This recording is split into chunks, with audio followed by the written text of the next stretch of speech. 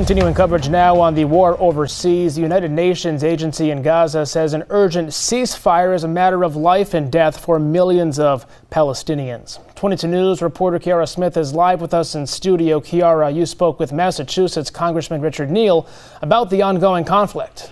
I did. Congressman Neal said the U.S. continues to stand firmly with Israel as one of their strongest allies.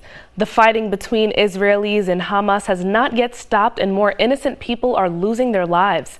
According to Gaza's Ministry of Health, more than 8,300 people have been killed, 66% of them women and children. And the United Nations Humanitarian Office says tens of thousands of people are injured.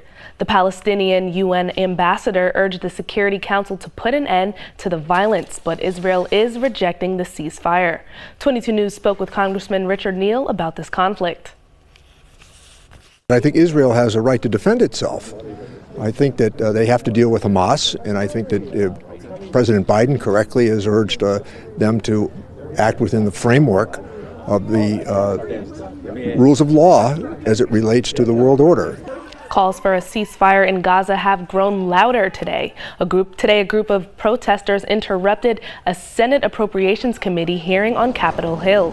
Meantime, the White House said that 66 trucks of humanitarian aid have flowed into the Gaza Strip over the previous 24 hours, the highest single day delivery of aid since the war began. Working for you live, Kiara Smith, 22 News.